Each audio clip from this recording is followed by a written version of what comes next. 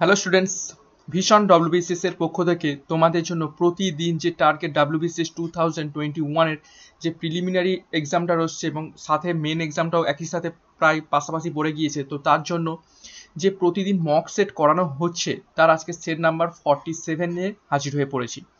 ওকে এবং পঞ্চাশটা সেট হয়ে গেলে কিন্তু তোমাদের পঞ্চাশ ইন্টু তিরিশ, অর্থাৎ প্রতিদিন আমরা গুরুত্বপূর্ণ তিরিশটি করে কিন্তু সম্ভাব্য প্রশ্নাবলী করছি। যেখানে হিস্ট্রি জিওগ্রাফি পলিটি সমস্ত সাবজেক্ট কভার আপ করা আছে ডাব্লিউবিসিএস প্যাটার্ন অনুযায়ী। তো পঞ্চাশ ইন্টু তিরিশ, দেড় হাজারটা এমসিকিউ এর পুরো একদম মার্চ করে পিডিএফটা আমি দিয়ে দেবো তোমাদের। তো এই পিডিএফগুলো যে যে ক্লাসগুলো করানো হচ্ছে, এই পিডিএফগুলোর শুধুমাত্র তোমরা আমাদের ভীষণ ডাব্লিউবিসিএস এর যে অফিসিয়াল অ্যাপটা রয়েছে, এই অফিসিয়াল অ্যাপটা সেটা শুধুমাত্র সেখান থেকেই তোমরা এই পিডিএফগুলো ডাউনলোড করতে পারবে।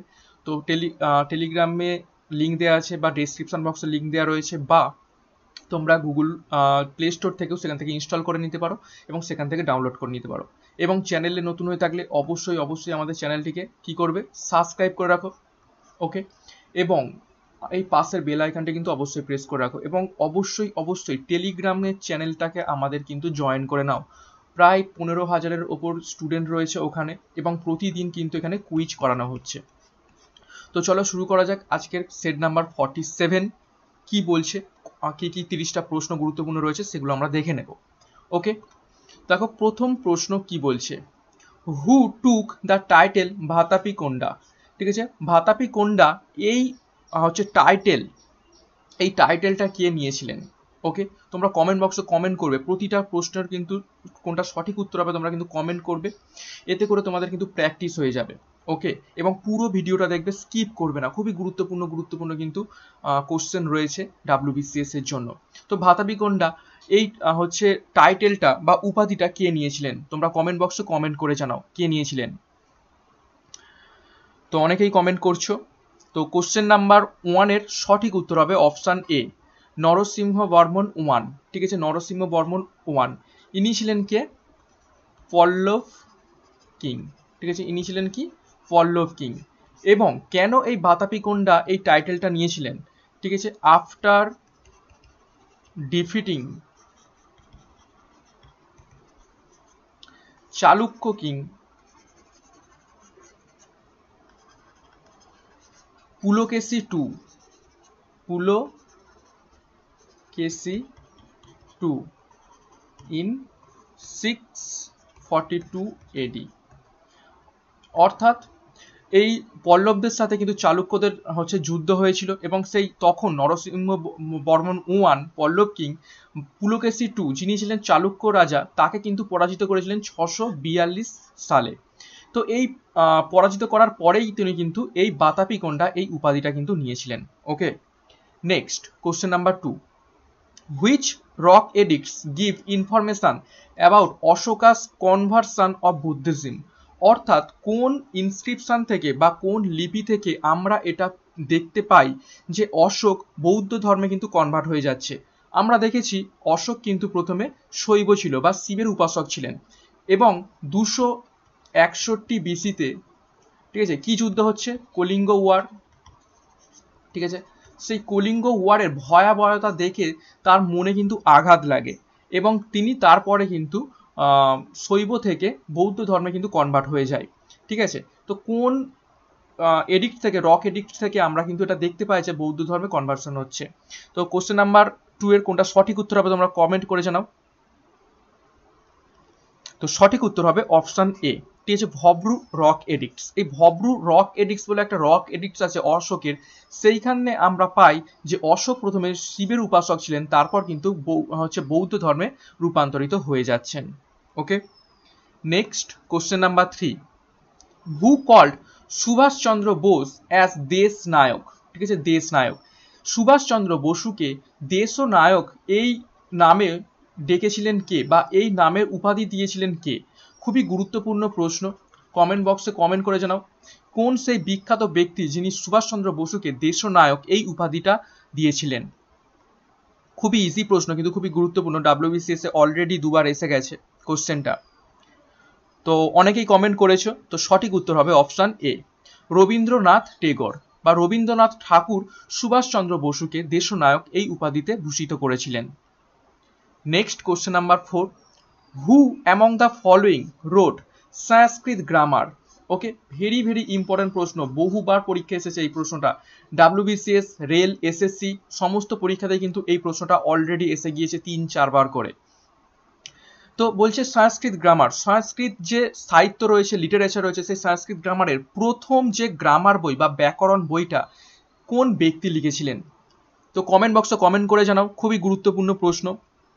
তো অনেকেই কিন্তু সঠিক উত্তর করেছ, তো সঠিক উত্তর হবে অপশান সি পানিনি। পানিনি এই সংস্কৃত গ্রামারটা লিখেছিলেন এবং বইটার নাম কি? সেই বইটার নাম হচ্ছে কি? অষ্টাধ্যায়ী। ঠিক আছে? অষ্টাধ্যায়ী। অষ্টাধ্যায়ী। এইটাই হচ্ছে সেই বিখ্যাত গ্রামার বই যেটা হচ্ছে পানিনি লিখেছিলেন Sanskrit grammar okay next question number five আমরা দেখব।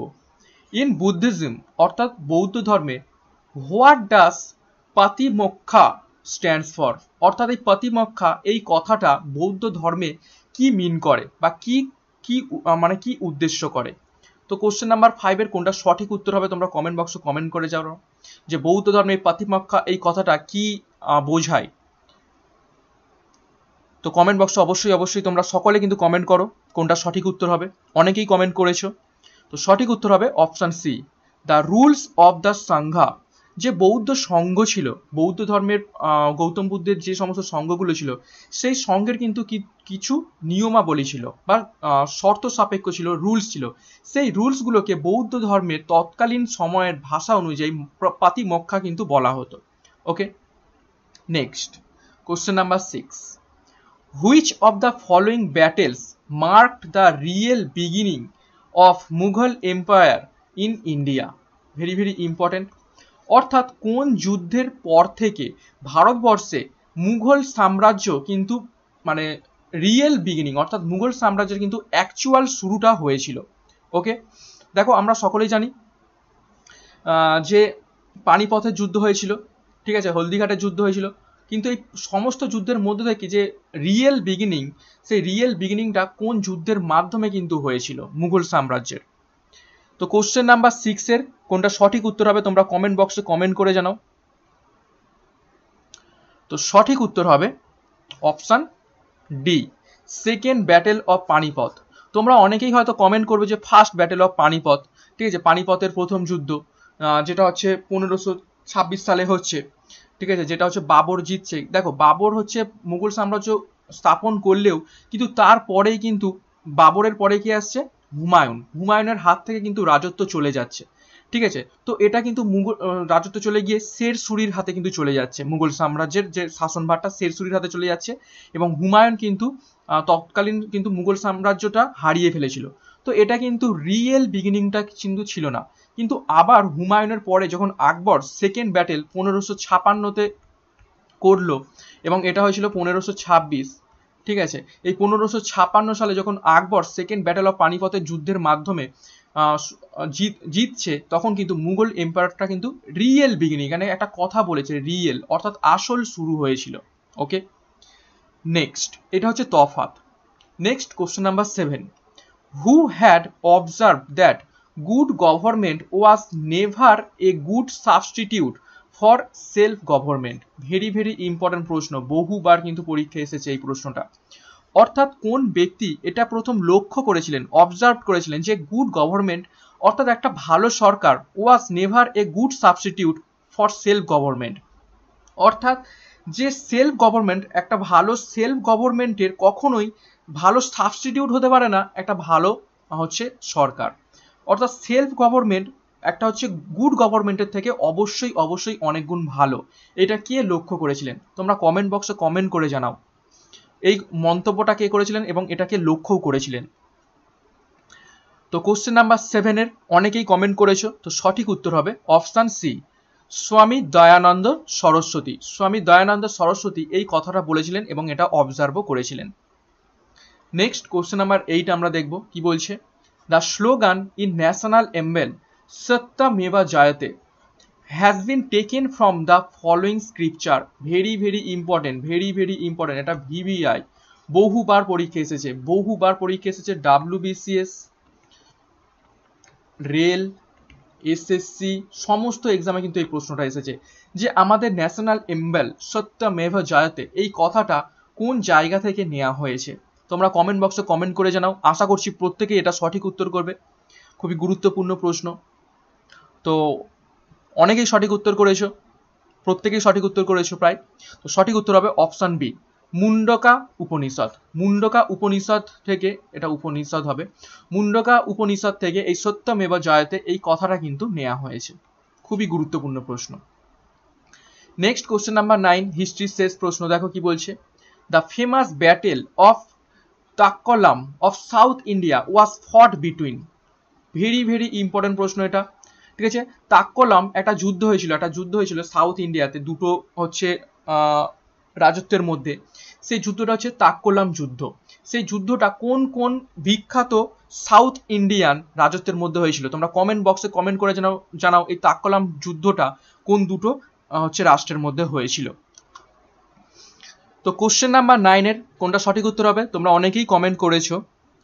তো সঠিক উত্তর হবে option option C sorry option C নয়, এটা হবে option B Chola and Rashtrakuta. Chola এবং রাষ্ট্রকূটের মধ্যে এই যুদ্ধটা হয়েছিল। কোন ইয়ার হয়েছিল?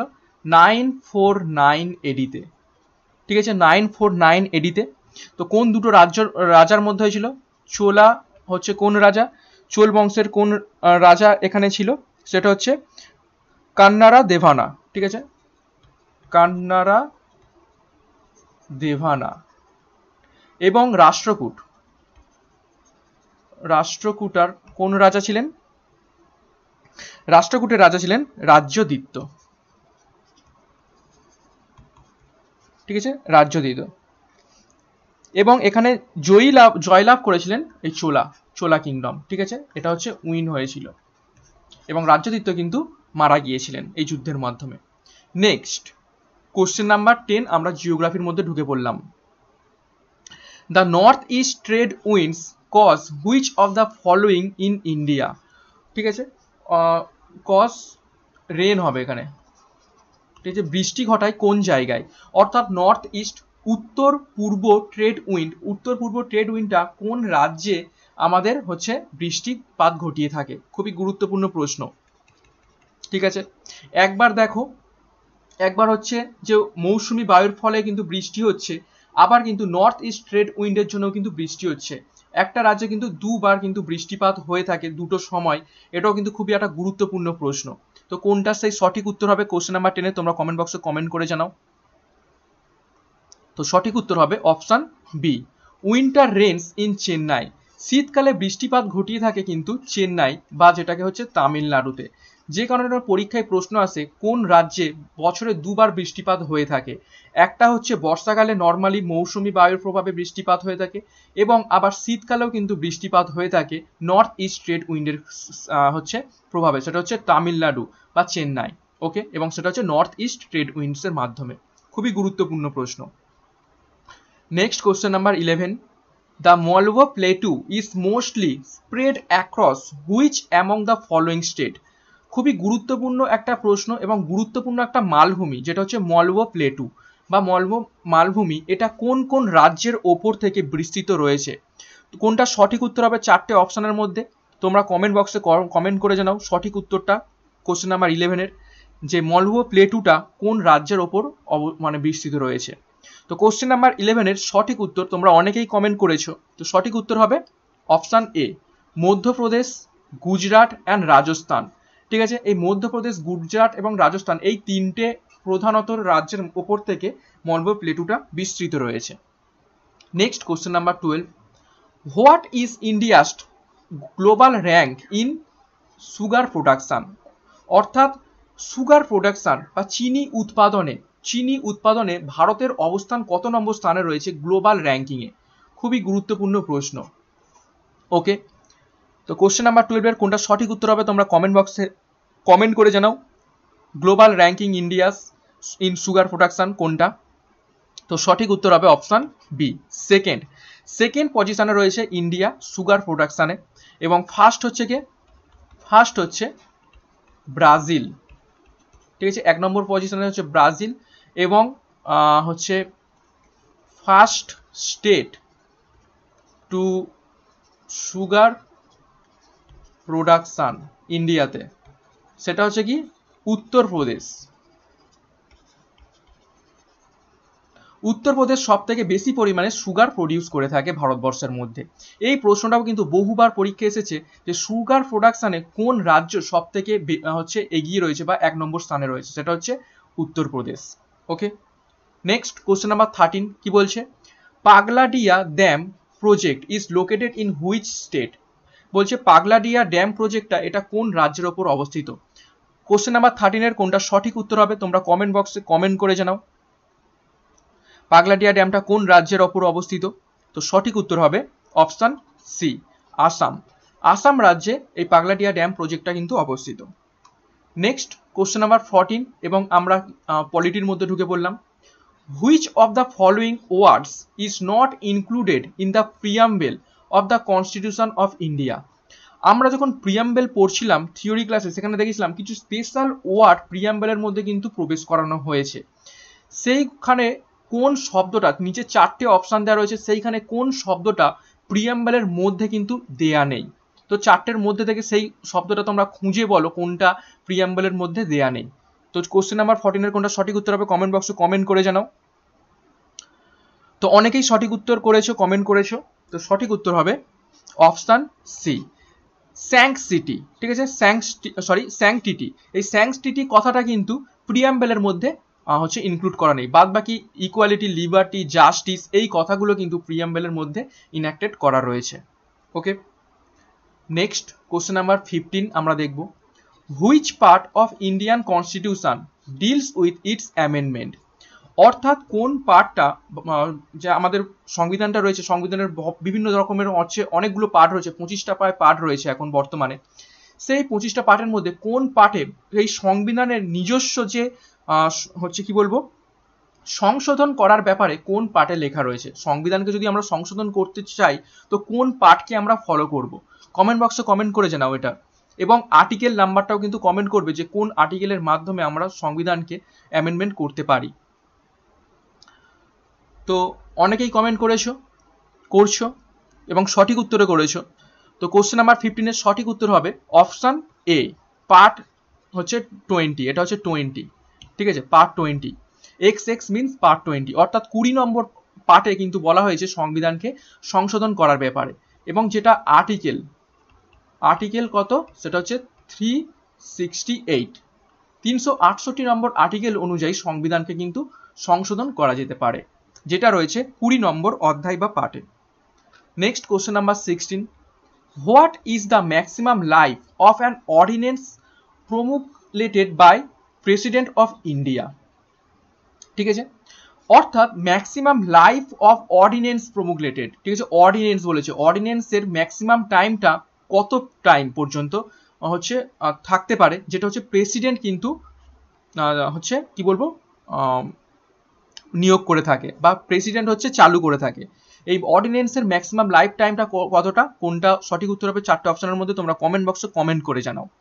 ওকে তো এই স্পেশাল অর্ডিনেন্সটা কি ব্যাপারটা আমি বলে দিচ্ছি, তোমরা আগে কমেন্ট করো। তো অনেকেই কমেন্ট করেছ।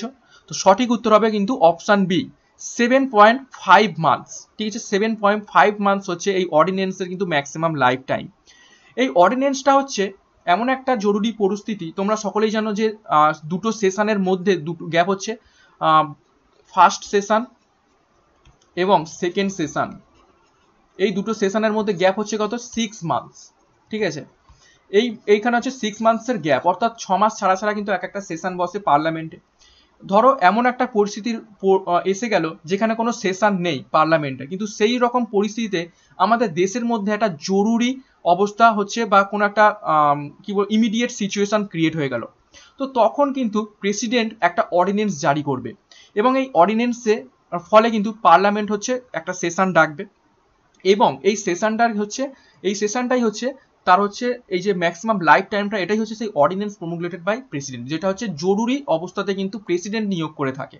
ওকে এবং এটা ম্যাক্সিমাম লাইফ টাইম হচ্ছে six months and six weeks তো এটা হচ্ছে রাফলি seven point five months okay এই জন্য হচ্ছে এটা সঠিক উত্তর হবে seven point five months next question number seventeen আমরা ইকোনমিক্সের মধ্যে ঢুকে বললাম কি বলছে? Which of the following rates is used by banks in India as a reference to price the rupee loan and advances অর্থাৎ কোন রেটের মাধ্যমে আমাদের ইন্ডিয়ান ব্যাংকগুলো একটা রেফারেন্স প্রাইস হচ্ছে ধরে রাখে কাউকে লোন দেওয়ার জন্য বা অ্যাডভান্স টাকা দেওয়ার জন্য। ঠিক আছে? যেটা হচ্ছে যে রেটে হচ্ছে কাউকে লোন দেওয়া হবে প্রাইস রেটে ঠিক আছে? সেটা হচ্ছে কোন রেফারেন্সটাকে ঠিক করে এই লোনটা দেওয়া হয়। তোমরা কমেন্ট বক্সে কমেন্ট করে জানাও কোনটা সঠিক উত্তর হবে, খুবই গুরুত্বপূর্ণ প্রশ্ন। তো কোশ্চেন নাম্বার সেভেন্টিনের সঠিক উত্তর হবে কোনটা? Option C MCLR rate M C L MCLR রেটের ফুল ফর্মটা কি? Marginal cost of funds best lending rate ঠিক আছে? এবং এটা হচ্ছে দু হাজার সতেরো থেকে কিন্তু কার্যকরী হয়েছিল। এটা হচ্ছে দু হাজার সতেরো থেকে কার্যকরী হয়েছিল। এই এমসিএলআর রেটের মাধ্যমে কিন্তু লেন্ডিং দেওয়া হবে বা কাউকে লোন দেওয়া হবে এই রেফারেন্স অনুযায়ী। Okay next question number eighteen আমরা দেখব। কি বলছে? প্রশ্নটা ভালো করে দেখো। A mutual fund that invests in other mutual funds অর্থাৎ একটা মিউচুয়াল ফান্ড যেটা ইনভেস্ট করতে, করছে আর একটা অন্য মিউচুয়াল ফান্ডে belonging to the same fund house যেটা বিলং করছে ওই mutual ফান্ডেরই same fund house or belonging to the other fund house অর্থাৎ একটা মিউচুয়াল ফান্ড আর একটা মিউচুয়াল ফান্ডের ওপর ইনভেস্ট করছে, যেটা হচ্ছে সেম সে ফান্ড হাউসের ওপরেই বেস করে হতে পারে বা অন্য একটা ফান্ড হাউসের ওপর বেস করে হতে পারে। তো এই রকম মিউচুয়াল ফান্ডসকে কি মিউচুয়াল ফান্ড বলা হয়ে থাকে? চারটে অপশান রয়েছে। তার মধ্যে থেকে কোনটা সঠিক উত্তর হবে, তোমরা কমেন্ট বক্সে কিন্তু কমেন্ট করে জানাও। তো কোশ্চেন নাম্বার এইটিনের কোনটা সঠিক উত্তর হবে তোমরা কমেন্ট করো। অনেকেই কমেন্ট করেছ তো সঠিক উত্তর হবে option A F O F fund ঠিক আছে? এফ ও এফ এটা হচ্ছে ফুল ফর্ম কি? Fund of funds fund of funds mutual friend হচ্ছে ফান্ড এটাকে বলা হয়ে থাকে। অর্থাৎ একটা মিউচুয়াল ফান্ডের ওপর আর একটা ফান্ড তো সেইটা হচ্ছে, শর্টে বলা হয় F O F okay next question number nineteen under which among the following হচ্ছে কি বলছে headings the proceeds of government bonds K come into budget অর্থাৎ কোন হেডিংসের ওপর থেকে, আমাদের পার্লামেন্টে বাজেটে গভর্নমেন্ট বন্ডসটা চলে আসে? ঠিক আছে? অর্থাৎ পার্লামেন্টে যে বাজেট পেশ করা হয়, সেখানে এই গভর্নমেন্ট বন্ডসের ব্যাপারেও কিন্তু সেখানে রিপোর্ট পেশ করতে হয়। এবং এই গভর্নমেন্ট বন্ডটা কোন হেডিংয়ের আন্ডারে থাকে? সেইটাই কিন্তু তোমাদের কমেন্ট করে জানাতে হবে, কোনটা সঠিক উত্তর হবে অপশানগুলোর মধ্যে থেকে। তো তোমরা কমেন্ট করো কোশ্চেন নাম্বার নাইনটিনের কোনটা সঠিক উত্তর হবে, অর্থাৎ কোন হেডিংয়ের আন্ডারে গভর্নমেন্ট বন্ডসগুলো থাকে বাজেটে তো সঠিক উত্তর হবে option C capital receipts capital receipts এই হেডিংয়ের আন্ডারে বাজেটের এই হেডিংয়ের আন্ডারে গভর্নমেন্ট বন্ডসগুলোর কিন্তু স্কিমগুলো দেয়া থাকে ওকে নেক্সট আমরা জেনারেল সায়েন্সের মধ্যে ঢুকে বললাম ছটা কোশ্চেন এখান থেকে সায়েন্সের মধ্যে দেখব। কি বলছে? An air bubble in water will act like অর্থাৎ জলের মধ্যে একটা পাত্র রয়েছে, ঠিক আছে, সেখানে জল ভর্তি রয়েছে। সেখানে যদি একটা হচ্ছে এয়ার বাবেল থাকে, ঠিক আছে, বাষ্প থাকে, সেটা কি হিসাবে কাজ করবে? কনভেক লেন্স হিসাবে কাজ করবে নাকি কনভেক্স মিরর হিসাবে কাজ করবে? নাকি কনকেভ লেন্স হিসাবে কাজ করবে নাকি কনভেক মিরর হিসাবে কাজ করবে? তোমরা কোনটা সঠিক উত্তর হবে সেটা তোমরা কমেন্ট করে জানাও। জলের ভিতরে বাষ্প বা বুদবুদ কি হিসাবে কাজ করে থাকে? খুবই গুরুত্বপূর্ণ প্রশ্ন, বহুবার কিন্তু এই প্রশ্নটার পরীক্ষা এসেছে। তো অনেকেই কমেন্ট করেছ এবং সঠিক উত্তর হবে অপশান সি কনকেভ লেন্স ঠিক আছে কনকেভ লেন্স হিসাবে কাজ করে থাকে। অবতল লেন্স হিসাবে কিন্তু কাজ করে থাকে এয়ার বাবেল ওয়াটারের মধ্যে। Next question number twenty one the purpose of choke in tube light বাড়িতে টিউব লাইট যে জ্বলে, তার সাথে কিন্তু একটা বক্স মতো দেয়া থাকে, দেখবে ছোট মতো বক্স মতো দেয়া থাকে, যেটা টিউব লাইটের যে বোর্ড থাকে, তার সাথে কিন্তু কানেক্ট করা থাকে। এই টিউব লাইটের এই বক্সটাকে ছোট মতো বক্সটাকে বলা হয় চোখ এই চোখটা কি জন্য ব্যবহার করা হয় থাকে টিউবলাইটে অন্যান্য তো লাইটের সাথে এই চোখটা ব্যবহার করা হয় না। তো এই চোখটার কাজটা কি? তো চারটে অপশান রয়েছে। কোনটা সঠিক উত্তর হবে তোমরা কমেন্ট বক্সে কমেন্ট করে জানাও। কি জন্য চোখটা ব্যবহার করা হয়ে থাকে টিউবলাইটে? এবং এটাও কিন্তু বহুবার প্রশ্নটা এসেছে। এসএসসি, সিজিএল এসেছে প্রশ্নটা। তো অনেকেই কমেন্ট করেছ। তো সঠিক উত্তর উত্তর হবে option A induce high voltage এই চোখের কাজ হলো হাই ভোল্টেজ কিন্তু প্রডিউস করা বা ইন্ডিউস করা এই টিউব লাইটটাকে প্রদান করবে এবং যেটা হচ্ছে টিউব লাইটকে জ্বালতে সাহায্য করবে। ওকে ভেরি ভেরি ইম্পর্টেন্ট প্রশ্ন। Next question number twenty two hydrogen bomb is based on the principle of ঠিক আছে হাইড্রোজেন বোম কোন নীতির ওপর বেস করে কিন্তু বানানো হয়েছে? খুবই গুরুত্বপূর্ণ প্রশ্ন এবং এই প্রশ্নটা বহু স্টুডেন্ট কিন্তু ভুল করে আসে অ্যাকচুয়ালি কনফিউশনে ভুল করে আসে ফিসান হবে নাকি ফিউশন হবে? এই দুটো অপশানের মধ্যে অপশান এ এবং বি এর মধ্যে কিন্তু অনেকেই কনফিউজড হয়ে গিয়ে ভুল অপশন চুজ করে আসে তো সঠিক উত্তর কোনটা হবে তোমরা কমেন্ট বক্সে কমেন্ট করে জানাও যে হাইড্রোজেন বোম কোন নীতির ওপর বানানো হয়? তো কোশ্চেন নাম্বার টোয়েন্টি টু এর সঠিক উত্তর হবে, অনেকেই কমেন্ট করেছ। তো সঠিক উত্তর হবে option B nuclear fusion nuclear fusion অর্থাৎ যেটাকে বলা হচ্ছে নিউ ক্লিও ফিউশন মিনস হচ্ছে সংযোজন সংযোজন। ঠিক আছে? অর্থাৎ এক বা একাধিক ছোট ছোট নিউক্লিয়াসকে একসাথে যোগ করে একটা বড় নিউক্লিয়াসে যখন আমরা পরিণত করতে চাই, তখন কিন্তু একটা মারাত্মক পরিমাণে এনার্জি বের হয়ে আসে এবং এই নীতির ওপরে বেস করে কিন্তু হাইড্রোজেন বোমও প্রস্তুত করা হয়েছে। হাইড্রোজেন বোমের মধ্যে দুটো ছোট ছোট নিউক্লিয়ায় ঢুকিয়ে দেওয়া হয় এবং তাদের কিন্তু অ্যাড করে একটা বড় নিউক্লিয়ায় নিউক্লিয়াস বানানোর চেষ্টা করা হয়, যার ফলে এটা বিস্ফোরণ ঘটে এবং প্রচুর পরিমাণে এনার্জি পাওয়া যায়। এবং প্রথম পয়েন্টে দেওয়া রয়েছে যেটা হচ্ছে নিউক্লিয়ার ফিশন এটা হচ্ছে বিয়োজন, ঠিক আছে? এটা হচ্ছে বিয়োজন এবং এটা হচ্ছে অ্যাটম বোমের নীতি, এটা হচ্ছে অ্যাটম বোম এবং কোনটায় বেশি এনার্জি পাওয়া যায়? সেটা হচ্ছে হাইড্রোজেন বোমে কিন্তু বেশি এনার্জি পাওয়া যায়। Hydrogen bomb greater than atom bomb ঠিক আছে? হাইড্রোজেন বোমের তার চার গুণ বেশি এনার্জি পাওয়া যায় হচ্ছে সরি অ্যাটম বোমের থেকে চার গুণ বেশি এনার্জি পাওয়া যায় প্রায় হাইড্রোজেন বোমের মধ্যে। Okay next question number twenty three which of the following is a non metal that remains liquid at room temperature বলছে, কোন নন মেটালটা নর্মাল রুম টেম্পারেচারেই কি হয়ে থাকে? লিকুইড ফর্মে হচ্ছে থেকে থাকে বা তরল অবস্থাতে থাকে। অপশানগুলো ভালো করে দেখে তোমরা কমেন্ট করে জানাও কোনটা সঠিক উত্তর হবে। কোশ্চেন নাম্বার টোয়েন্টি থ্রির খুবই গুরুত্বপূর্ণ প্রশ্ন, অনেকবারই পরীক্ষা এসেছে। এবং এই প্রশ্নটাও কিন্তু অনেক স্টুডেন্ট কিন্তু ভুল করে আসে। তো কোশ্চেন নাম্বার টোয়েন্টি থ্রি এর অনেকেই কমেন্ট করেছ। তো সঠিক উত্তর হবে কিন্তু অপশান সি ব্রোমিন ব্রোমিন হচ্ছে সেই নন মেটাল যে কিন্তু রুম টেম্পারেচারে লিকুইড অবস্থায় থেকে থাকে।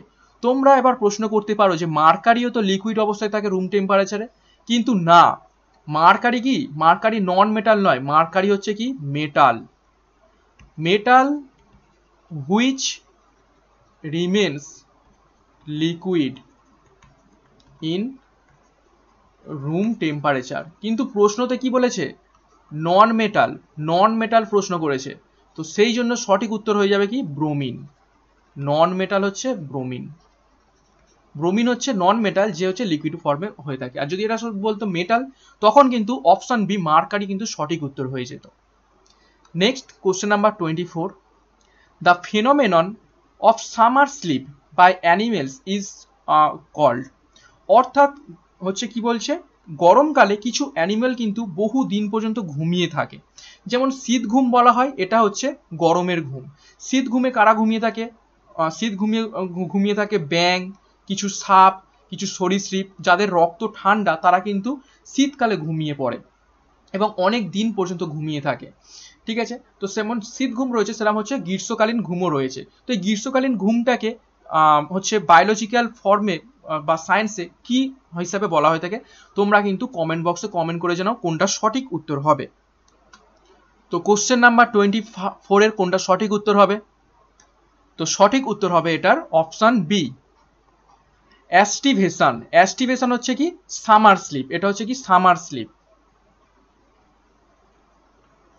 ঠিক আছে? এটা হচ্ছে গ্রীষ্মকালীন ঘুম।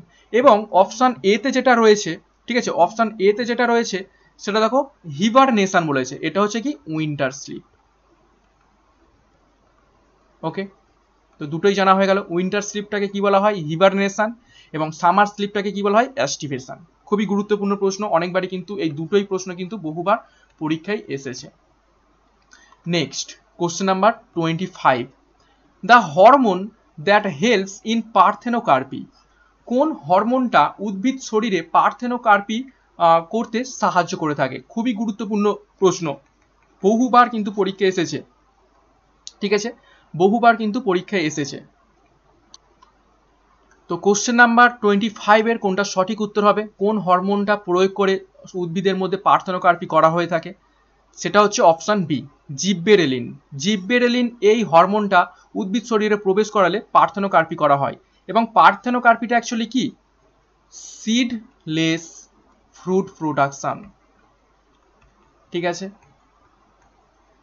সিডলেস ফুড প্রোডাকশনটাকে বলা হয় পার্থনোকার্পি অর্থাৎ বীজবিহীন ফল যদি তৈরি করতে চাই, আমরা কিন্তু এই জিব্বেরিলিন হরমোনটা উদ্ভিদ শরীরে প্রবেশ করিয়ে থাকব এবং এই পদ্ধতিটাকে বলা হয় পার্থনোকার্পি এবং এই হরমোনের প্রভাবে উদ্ভিদ কি করে? বীজ তৈরি করতে পারে না, শুধুমাত্র ফলটাই তৈরি করে থাকে। Next question number twenty six কি বলছে? আমরা কারেন্ট অ্যাফেয়ার্সের মধ্যে ঢুকে পড়লাম। উত্তরাখণ্ডের নতুন মুখ্যমন্ত্রী পদে কে অধিষ্ঠিত হয়ে, হতে চলেছেন? খুবই গুরুত্বপূর্ণ প্রশ্ন। উত্তরাখণ্ডে প্রায় চার মাসে কিন্তু তিনজন হচ্ছে মুখ্যমন্ত্রী অলরেডি চেঞ্জ হয়ে গেছে। গত চার মাসে শুধু মুখ্যমন্ত্রী চেঞ্জ হচ্ছেন। তো লাস্ট পর্যন্ত একজন মুখ্যমন্ত্রীর নাম ঠিক হয়েছে, যিনি হচ্ছেন উত্তরাখণ্ডের নতুন মুখ্যমন্ত্রী পদে অধিষ্ঠিত হতে চলেছেন। তো কোনটা সঠিক উত্তর হবে, তোমরা কমেন্ট বক্সে কমেন্ট করে জানাও। তো কোশ্চেন নাম্বার টোয়েন্টি সিক্সের সঠিক উত্তর হবে অপশান সি পুষ্কর সিং ধামি। পুষ্কর সিং ধামি উত্তরাখণ্ডের নতুন মুখ্যমন্ত্রী পদে কিন্তু অধিষ্ঠিত হতে চলেছেন। Next question number twenty seven Moirang ভারতের কোন রাজ্যের বারোতম জেলা গঠিত হয়েছে? ঠিক আছে? অর্থাৎ ভারতের কোন রাজ্যের বারোতম জেলা ময়রাং? এটা হচ্ছে জাস্ট রিসেন্ট গঠিত হয়েছে। তোমরা কমেন্ট বক্সে কমেন্ট করে জানাও যে কোন রাজ্যের বারোতম জেলা এই ময়রাং। তো কোশ্চেন নাম্বার টোয়েন্টি সেভেনের সঠিক উত্তর হবে অপশান বি মেঘালয়। মেঘালয় রাজ্যের বারোতম জেলা হচ্ছে Moirang. Okay, next. Question number twenty eight. Bharat সরকার কোন মোবাইল অ্যাপটি মৎস্য চাষিদের জন্য লঞ্চ করেছে? খুবই গুরুত্বপূর্ণ প্রশ্ন। মৎস্য চাষিদের জন্য কোন অ্যাপটা ভারত সরকার হচ্ছে লঞ্চ করেছে, তোমরা কমেন্ট বক্সে কমেন্ট করে জানাও। কোনটা সঠিক উত্তর হবে? তো কোশ্চেন নাম্বার টোয়েন্টি এইটের সঠিক উত্তর হবে অপশান ডি। ফিস সেতু। ফিস সেতু, যেমন আরোগ্য সেতু করোনার জন্য লঞ্চ করেছিল, সেরকম হচ্ছে ফিস সেতু, সেটা লঞ্চ করেছে মৎস্য চাষিদের জন্য। Okay next question number twenty nine হু ওয়ার্ল্ড হেলথ অর্গানাইজেশন কোন দেশকে ম্যালেরিয়া মুক্ত ঘোষণা করেছে দু হাজার একুশ সালে? ঠিক আছে, এটা দু হাজার একুশ সালে কোন দেশকে ম্যালেরিয়া মুক্ত ঘোষণা করে দিয়েছে? হু তো কমেন্ট বক্সে কমেন্ট করে জানাও, কোন সেই দেশ যাকে ম্যালেরিয়া মুক্ত ঘোষণা করেছে? হু খুবই গুরুত্বপূর্ণ প্রশ্ন। কারেন্ট অ্যাফেয়ার্সের মধ্য থেকে। তো সঠিক উত্তর হবে এটা অপশান বি চীনকে হু ম্যালেরিয়া মুক্ত দেশ হিসাবে ঘোষণা করেছে। নেক্সট আজকে যে মক সেট আমরা করছি ফর্টি সেভেন তার আজকে শেষ প্রশ্ন কোশ্চেন নাম্বার থার্টিটা আমরা দেখব। Women's speed chess championship two thousand twenty ওয়ানের খেতাবটা কে জিতেছে? খুবই গুরুত্বপূর্ণ প্রশ্ন। এই প্রশ্নটা আজকেই আজকেই হচ্ছে দুপুরবেলা আমাদের টেলিগ্রাম চ্যানেলে কুইজ হিসাবে দিয়েছিলাম, দশটা কুইজের মধ্যে একটা প্রশ্ন, এই প্রশ্নটাই ছিল। যারা ফলো করেছ, তারা কিন্তু কোশ্চেনটা সঠিক উত্তর করতে পারবে কমেন্ট বক্সে কিন্তু কমেন্ট করে জানাও, কোনটা সঠিক উত্তর হবে। Women's speed chess championship two thousand twenty ওয়ানের খেতাব কে জিতেছে? তো অনেকেই কমেন্ট করেছ এবং সঠিক উত্তর করেছ। তো সঠিক উত্তর হবে option D Hou Yifan Hou Yifan woman speed chess championship two thousand twenty ওয়ানের খেতাবটা কিন্তু জিতে নিয়েছেন। ওকে তো আজকের ভিডিওটা শেষ করার আগে গুরুত্বপূর্ণ অ্যানাউন্সমেন্ট তোমাদের জন্য কিন্তু খুবই গুরুত্বপূর্ণ গুরুত্বপূর্ণ কিন্তু ইবুক নিয়ে আসা হয়েছে। জাস্ট রিসেন্টলি লঞ্চ করা হয়েছে ইন্ডিয়ান ইকোনমি যেখানে তোমরা দেড় হাজারটা এমসিকিউ পাবে। এখানে থিওরিও দেওয়া রয়েছে এমসিকিউ দেওয়া রয়েছে। ঠিক আছে, আগে থিওরি পড়বে, তারপর চ্যাপ্টার ওয়াইজ কিন্তু প্রতিটা চ্যাপ্টার ওয়াইজ ভাগ ভাগ করে কিন্তু এমসিকিউ দেওয়া রয়েছে। অবশ্যই অবশ্যই ডাব্লিউবিসিএস এর প্রিভিয়াস ইয়ার্স এর প্রিলিমিনারি এবং মেনের প্রতি বছর যে একশোটা করে কোশ্চেন এসেছিল, সমস্ত কোশ্চেন কিন্তু দেওয়া রয়েছে। এই ইবুকের মধ্যে। এবং এটা শুধুমাত্র ডাব্লিউ ডাব্লিউবিসিএস নয়, প্রতিটা ইবুকই কিন্তু একদম অল ইন্ডিয়া বেসিসের যে সমস্ত এক্সামগুলো রয়েছে, সেগুলোর জন্য কিন্তু বানানো হয়েছে। এনসিয়েন্ট মেডিয়েভেল ইন্ডিয়ার ওপর হচ্ছে, রয়েছে প্রতিটা এমসিকিউর সাথে কিন্তু এক্সপ্লেনেশনারি নোট দেওয়া রয়েছে। এটা কিন্তু তোমাদের খুব খুব হেল্প করবে এবং এই রকম ইবুক কিন্তু আর পাবে না কোথাও। মডার্ন হিস্ট্রির ওপর আছে ইন্ডিয়ান পলিটি যারা ইন্ডিয়ান পলিটির ওপর নিতে চাও তাদের জন্য দু হাজারটা এমসিকিউ কিন্তু দেওয়া রয়েছে উইথ এক্সপ্লেনেশন নোট এবং প্রিভিয়াস ইয়ার্স তো অবশ্যই দেওয়া রয়েছে। জিওগ্রাফির ওপর স্পেশাল নোট এবং এটা হচ্ছে ফর্টি নাইন রুপিস ইংলিশের ওপর যেটা পঁচিশ নাম্বার থাকে। ঠিক আছে, এটা যদি ভালো করে ফলো করো তো কুড়ি প্লাস কিন্তু নাম্বার তোমরা ক্যারি করতে পারবে। একদম ডাব্লিউবিসিএস এর প্যাটার্ন মেনে কিন্তু এই ইবুকগুলো কিন্তু বানানো হয়েছে। তো যারা পারচেস করতে চাও ডেসক্রিপশন বক্সে কিন্তু প্রতিটা ইবুকের লিঙ্ক দেওয়া থাকবে। এবং আমাদের টেলিগ্রাম চ্যানেলও ফলো করতে পারো, সেখানেও লিঙ্ক দেওয়া রয়েছে, ঠিক আছে? তো সেখান থেকে তোমরা পারচেস করে ফেলো। বহু স্টুডেন্ট বহু স্টুডেন্ট কিন্তু অলরেডি পারচেস করে কিন্তু তাদের তাদের প্রিপারেশন কিন্তু শুরু করে দিয়েছে। তো যারা এখনও কেননি, তারা কিন্তু পারচেস করে ফেলো। তো আজকের ভিডিওটা কেমন লাগল? অবশ্যই অবশ্যই তোমরা প্লিজ একটা লাইক করে দিও এবং কমেন্ট করে দিও তোমাদের কতগুলি সঠিক উত্তর তোমরা করতে পেরেছ। এবং চ্যানেলটা নতুন হয়ে থাকলে অবশ্যই অবশ্যই চ্যানেলটিকে সাবস্ক্রাইব করো। এবং পাশের বেল আইকনটি কিন্তু প্রেস করে রাখো। তো আজকের জন্য সেট নাম্বার ফর্টি সেভেন এখানেই শেষ করছি। নেক্সট দিন ফর্টি এইট নিয়ে হাজিরে করব thank you good night bye